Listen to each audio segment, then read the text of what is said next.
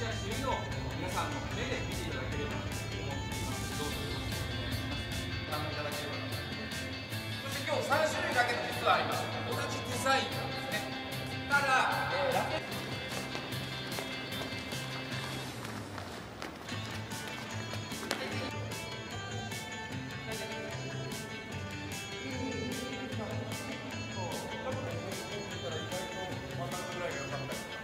あります。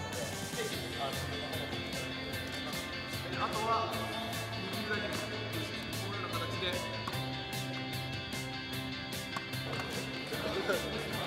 どうしよう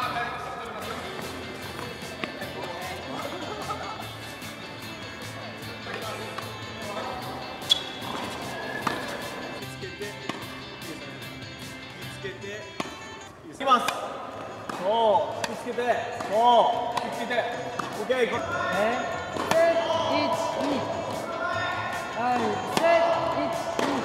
というとラケットの重さを割と使われる方のスタイルなので楽しいですよ。ありがとうございます。あとラケットいろいろ打ってもらったと思うんですけど、ラケットはどんな感じラケットですか。感触いいですねはい。一番軽いやつ軽いやが一番相性いいみたいな。よかったです。ノーマルというか普通の300の。一番三百。はい。やつが一番いいんじゃないかなと思ってよかったです。まあ、楽しい楽しいし技術も教えてもらえて嬉しいで300のや三百のやつが一番良かった。つ一番良かったありがとうございます。ボレーは一番ね 300g 三百グラム。はい。でストロークは今ちょっとやったんですけど277ぐらいあ、じゃあちょっとショットに率直な感想を。あのれ練習にもなりますし、このラケットの性能も、はい。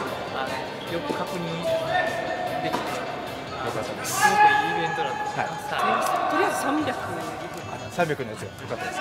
で、最初ストロークで飛ばないかなと思ったんではいはあのボレーの時はしっかりい。飛んで飛んでよかったです。でやっぱりあのそのラケットを生かすためのその指導っていうかはい。レッスンですね。クリニックがすごい良くて、ええあ、ありがとうございます。あのこれがないとその良さがわからないはい。はい。これの100少し軽い、ははい。い、275グラム。はい。の方が百 L のやつですね。良かったです。よかったです。い。ろいろトータル的に考えて L が一番。L 自分には真ん中のやつ。真ん中のやつ。はい。そうですね、えーと真ん中のちょっと275ぐらいでもいいと僕ちょっと、じゃあちょっと今よりも軽めでもいいのかなっていう感じで。あありがたいです。ダブルスほぼほぼダブルスしかしないはいはいはい。まあダブルスはそうですね。ボレーは多分こちらの方が非常に反発もあります。ありがとうございます。じゃテニス教室のような、はいあの感じで、はいまたコンセプトに合わせた練習がしたかあ、な、はい。これ100グラム。百あ、三百のやつ。はい。ありがとうございます。そうですね僕は 300g 三百グラム。はい